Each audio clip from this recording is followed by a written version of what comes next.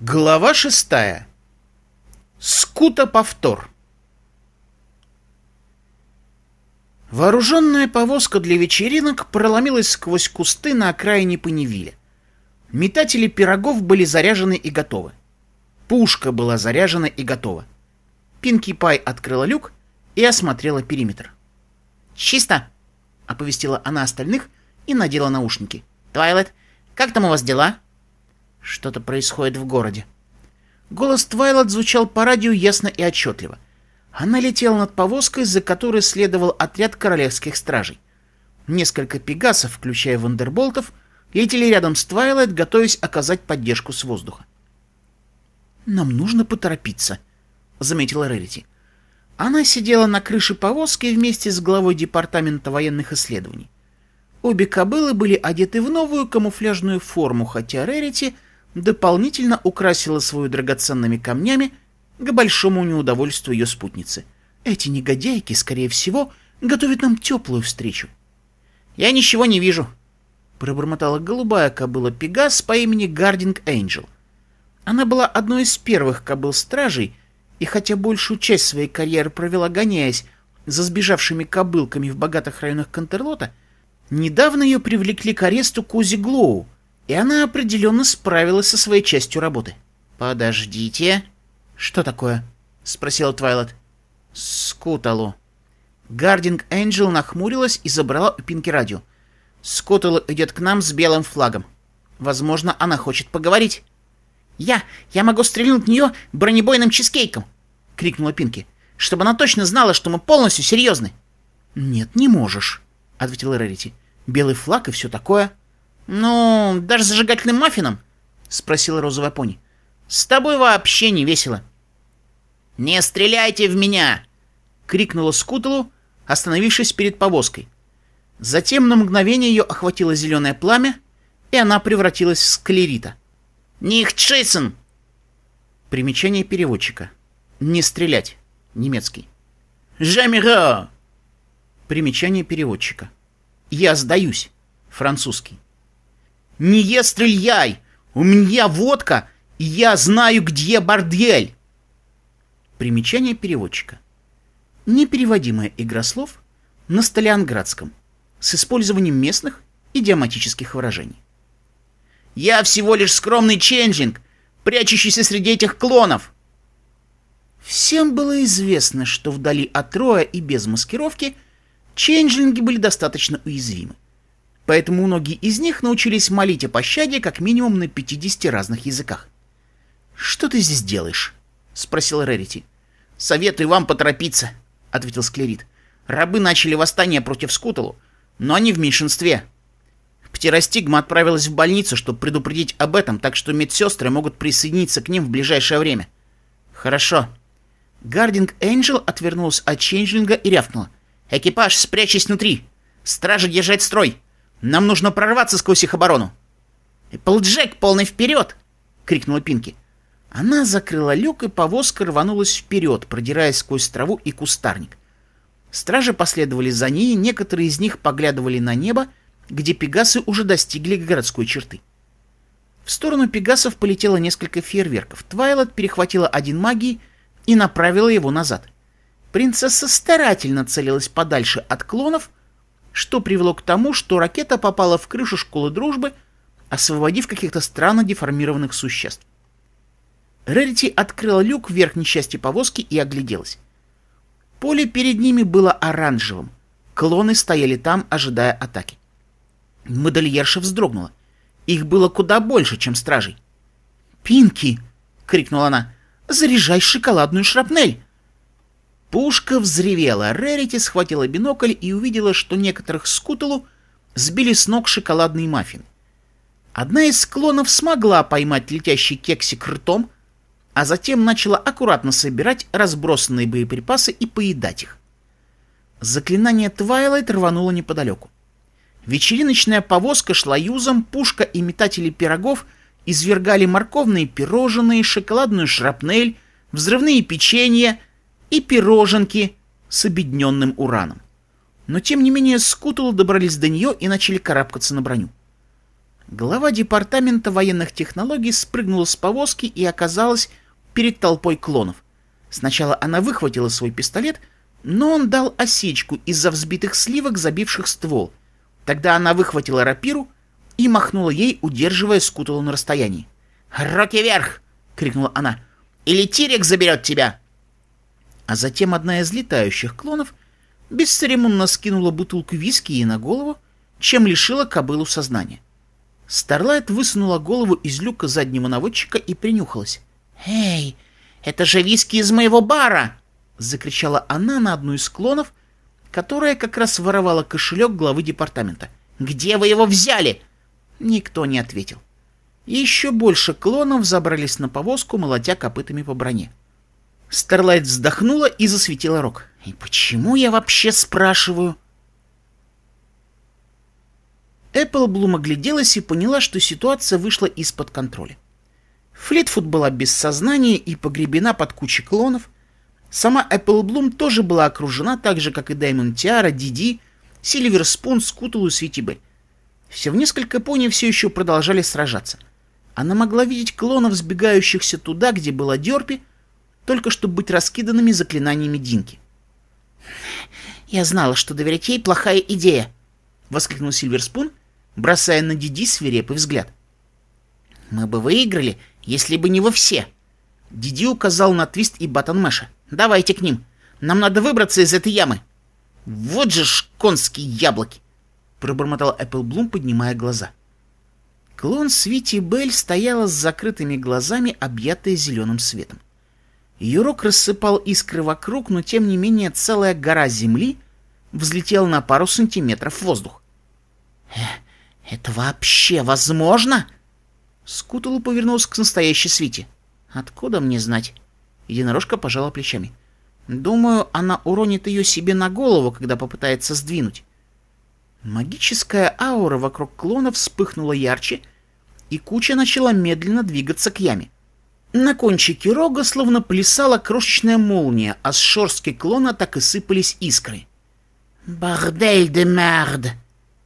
Пробормотала Свити одно из ругательств, которое она случайно выучила у Рерити. «Бордель де мерд» Французский. Сраный бордель. Примечание переводчика. «Она собирается похоронить нас всех заживо!» — воскликнул Даймонд Тиар. Я не желаю, чтобы меня похоронили заживо рядом с Эпплблум. А как насчет того, чтобы тебя похоронили рядом со мной? Спросила Сильвер, пнув одного из клонов, что пыталась поймать Даймонд. Ну, на это я согласна. Даймонд развернулась и легнула задними ногами еще одного клона. Кто-то... кто-то должен доставить меня туда. Свити взглянул на своего клона. «Только не я», — сказала Скутл. «В отличие от моих клонов, я летать не умею». «Если они смогли научиться, то и ты сможешь!» — крикнул Свити. «Давай же! Я помогу тебе оторваться от земли!» Она запрыгнула на спину Пегаски и начала тянуть ее телекинезом, стараясь сделать ее как можно легче. Скутл взмахнула крылышками и, к своему удивлению, взлетела, пролетев над головами ошарашенных клонов. «Ну же!» Свити сосредоточилась на магии, текущей сквозь ее рог. Единорожка заметила, что за ними погналось сразу несколько клонов — в том числе и одна с черными полосками в гриве. Скуталу 150. «Я... я так долго не смогу», — задыхаясь, прикрепила Скуталу, пытаясь набрать высоту. «Конечно!» — хмыкнул 150 «В конце концов, мы тебя во всем превосходим!» Настоящая Скутула нахмурилась. «Я оторву твой хвост и тебя же скормлю!» Пегаска сильнее захлопала крыльями, бросаясь на клона. Внезапно она почувствовала, что магия Свити рассеялась. Когда гравитация вернулась в норму, она стала намного тяжелее и поняла, что они вот-вот разобьются. «Что ты...» Скутул замолчала, когда единорожка спрыгнула с ее спины, схватив 150-ю за шею. Клон взбрыкнула, когда Свитти забралась ей на спину, выкручивая украшенное пирсингом ухо телекинезом. «Тогда ты отвезешь меня к ней!» — прошипела она в ухо клону.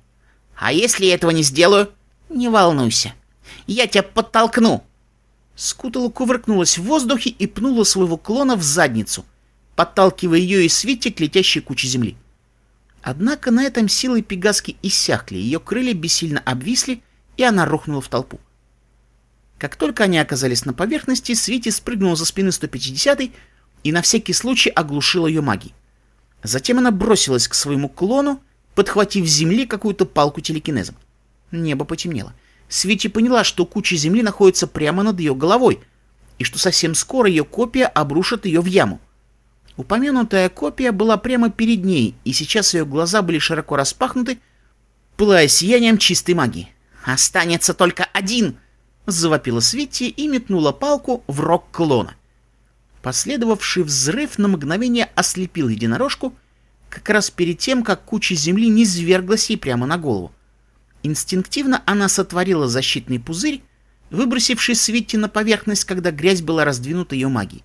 Вокруг нее сверкали молнии, и жуткий рев терзал уши. А потом все внезапно закончилось.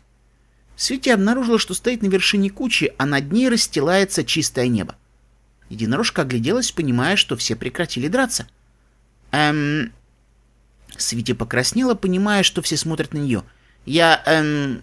Я стала вроде...» Земля недалеко от нее шевельнулась, и оттуда появилась ее копия. Ее шерсть была вся грязная, с ясно видимыми подпалинами. Из ушей поднимался дымок, и единорожка смогла сделать лишь пару шагов, прежде чем остановиться, с трудом переводя дыхание. «Мисс Белль, мне что-то плохо», — пробормотала она, едва стоя на дрожащих копытцах. А потом внезапно превратилась в облако пыли, которое медленно рассеялось на ветру. У Свити отвисла челюсть. «Неужели это я сделала?» «Нет, это я». Еще один пони появился из облака пыли. У него была синяя шляпа с колокольчиками, плащ и длинная белая борода. Хватит заниматься ерундой. Маг закрыл глаза, его рот засветился и испустил волну белого пламени, прокатившуюся над Паневилем. Несколько скутула смотрели друг на друга, расширившимися от испуга глазами. Затем они начали исчезать одна за другой. «Старл Свирил, что вы с ними сделали?» — вздрогнул Свити. «Не волнуйся, с ними все будет в порядке», — ответил маг. «И с твоими друзьями тоже». Рядом с ними Скутулу 150 встала и посмотрела на свои копыта. Она нахмурила брови, а потом просто исчезла. На дне ямы поднимались пони, понявшие, что атакующие клоны просто испарились. Демон Тиара была первой, кто испустил громкий радостный крик. «Я знала! Я знала, что победит лучший!» — воскликнула она. Сильверспун посмотрел на нее. «Ты... ты же Диди, верно?» «Не волнуйся, никто не заметит разницы», — прошептал Даймон Тиара, ухмыльнувшись. «О, нет!» — пробормотала Сильвер. «Эпплблум, но ты-то хоть настоящая?» «Да», — ответил Земнопони. «Со Скутлу тоже вроде все нормально. Ведь так, Скутс?» Скутл села и потерла виски, прежде чем взглянуть на своих друзей. На ее губах расцвела озорная улыбка. «Рейн будешь лучшая пони!» — сказала Пегаска. Рейнбудеш нахмурилась и бросила кубик. Увидев выпавшие числа, она ухмыльнулась и передвинула фишку в виде шляпы. «Круто», — сказала она. «Итак я покупаю Хуффингтон, и теперь я могу строить отели». «От гадство!» — пробормотала Скутлу 53. И как раз в тот момент, когда у меня кончились деньги. «Значит, пора продать Паневиль мне. Знаешь, ты можешь мне и настоящий город продать». Радужногривая Пегаска посмотрела на бумажные биты в банке. «Думаю, я могла бы дать тебе кредит». 53-я тяжело вздохнула. Но это не сильно большой город. Я думаю, что заключенные снова восстали. А, хлеба и зрелищ, как сказала бы Твайлет. Флитвуд здесь, так что мы можем время от времени устраивать гонки. Или ты можешь устроить гладиаторские бои в той яме, которую вы вырыли. Победитель получает свободу и все такое, или... Рейнбу Дэш замолчала, заметив, что Скутулу 53 исчезла. В прямом смысле слова. Она не выходила в другую комнату, а просто растворилась в воздухе. Ну, круто. Как раз тогда, когда я нашла кого-то, кого смогла бы обыграть. Пегаска пожала плечами. Может, кто-нибудь принесет мне еще сидра? Ее слова эхом разлетелись по пустым коридорам. «Кто-нибудь!» Она направилась в другую комнату, но нашла там только Рамбла, лежащего на большой кровати и уставившегося в стену. Мне приснился очень странный сон, пробормотал жеребчик. Старлайт открыла глаза. Ее голова раскалывалась от боли, и она чувствовала запах паленых волос. Явный признак того, что она несколько переусердствовала с магией, что подпалила собственную гриву. «Привет», — сказала глава департамента военных технологий. Кобыла с забинтованной головой сидела на соседней больничной койке рядом со Старлайт. «Наконец-то ты очнулась. Медсестры говорят, что это самое длительное время, что ты провела здесь без сознания. Кажется, они хорошо тебя знают». «Я тут постоянный клиент», — ответил Старлайт. «Что я натворила на этот раз?» «Мы думали, что это ты скостовала какое-то проклятие и отправила всех клонов неизвестно куда, но потом из ниоткуда появился какой-то бородатый бомж и забрал себе всю славу». Глава департамента пожал плечами. «Тем не менее, это была впечатляющая магия». «Спасибо», — пробормотала Старлайт. Безымянная кобыла улыбнулась и протянула копыта Старлайт. Баттербол. Что? Это мое имя. Покраснела глава департамента. Меня зовут Баттербол. А, Старлайт Глимер. Наконец-то мы дома, проворчала птеростигма. А эти пони быстро восстанавливают дома, верно? Ну, этот дом не сильно-то и пострадал, ответила Спрингбриз. Но, по крайней мере, они позаботились о наших документах. И теперь мы гордые подданные принцессы Селестии. Склерит кашлянул. Кажется, у меня понячья оспа. Как ты вообще сумел заразиться? Птиростигма закатила глаза. Это же понячья зараза. Я не... Ченджинг снова закашлялся, на этот раз превратившись в скуталу. «О, только не снова!» — завопила Спрингбриз, моментально обернувшись Нириком. Склерит отскочил назад, внезапно превратившись в большую кашляющую миску запеканки. Спрингбриз замерла, подняла брови и снова превратилась в Кирина. «Я просто не понимаю этого чувака», — пробормотала она, качая головой.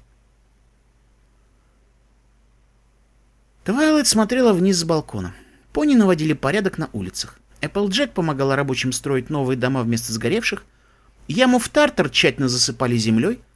Несколько квалифицированных некромантов из Департамента военных технологий пытались снять проклятие со школы дружбы. В настоящий момент один из них обзавелся парой свежеотрощенных рогов.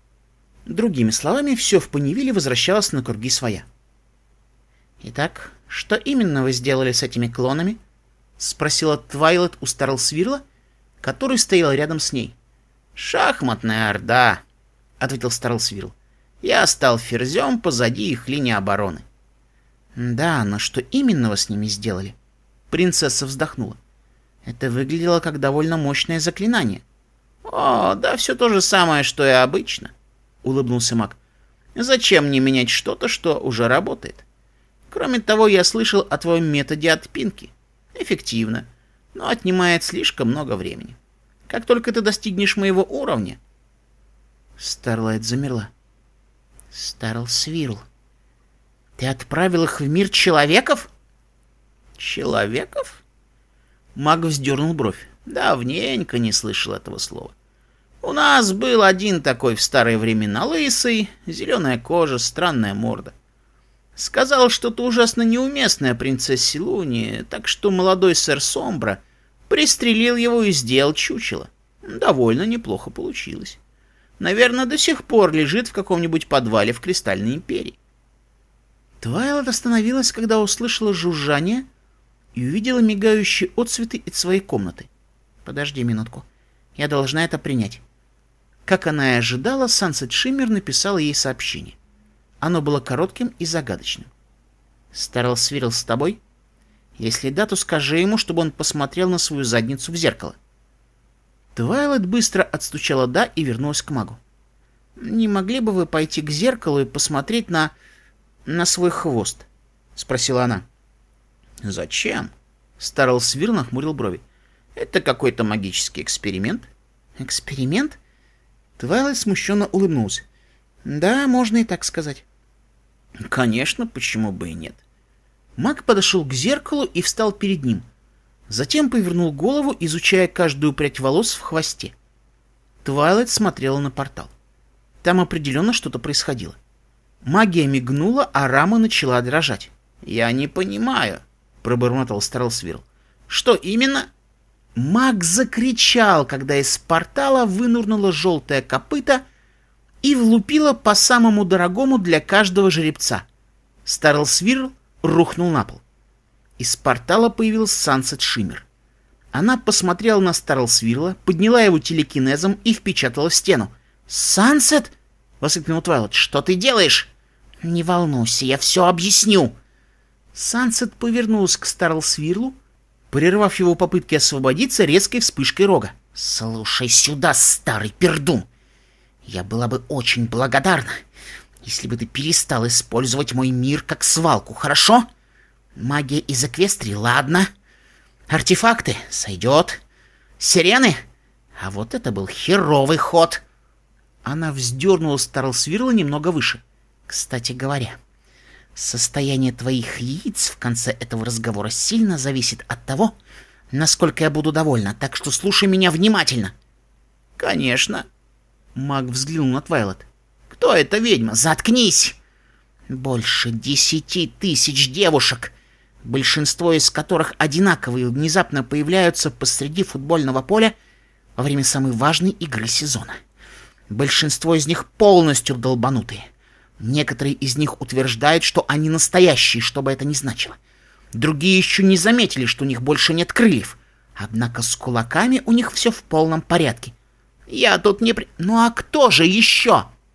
Некоторые из них рассказали нам тупую историю о крайне злобной Твайлайт Спаркл, которая отправит их обратно в пруд и развлекается тем, что заключает в тартар невинных кобылок. Они также упомянули старого пердуна с колокольчиками на шляпе. Сансет повернулся к Твайлот. «Я не уверена, что вы тут натворили, но научная тварь впала в довольно серьезный экзистенциальный кризис, так как поняла, что некоторые из ее коллег в других измерениях могут быть злыми. Но я уверена, что мы сможем это исправить», — заявила Твайлот. «Что ты собираешься исправлять?»